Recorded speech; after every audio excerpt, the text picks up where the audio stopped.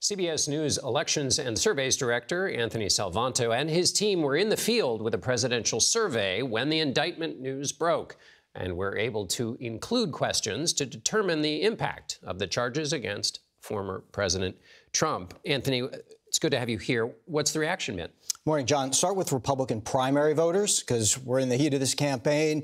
They say it does not matter. They expressly say that this will not change their views. And maybe that doesn't surprise. They've been with Donald Trump for years.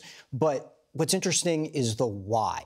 When you ask if they're more concerned that this is politically motivated or if there's a national security risk, they come down heavily on the politically motivated side. At 76% of them saying that.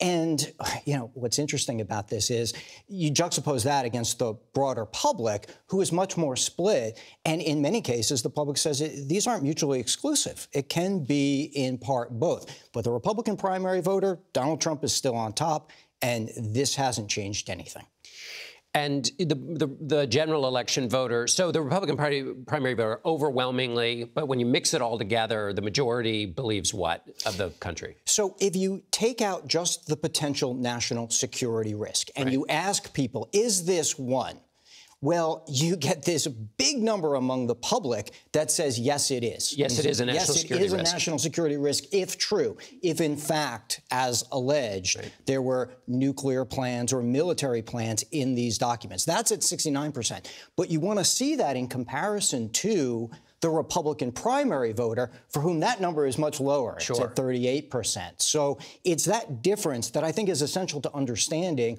why you're going to see the rhetoric on the Republican side, on the campaign trail, that's talking about what they say is political motivation as opposed to national security right. risk. So what happens if the president is actually convicted?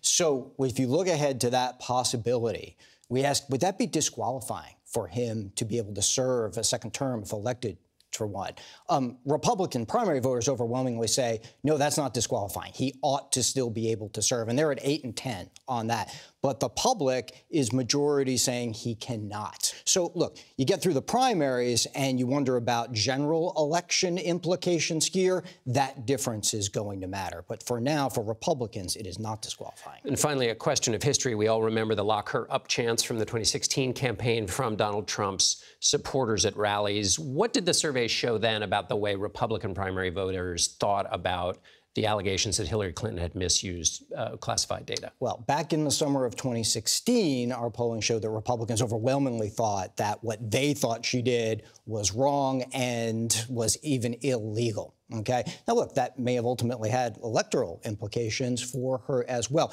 But I think the takeaway from that comparison is that sometimes when the public makes up its mind, it's often politics first. It's who is doing something as opposed to the abstract of what may have happened. And Anthony, we'll have more discussion about politics later in our broadcast with our political panel, where we'll talk about the state of the race. We'll be right back with a lot more Face the Nation. Stay with us.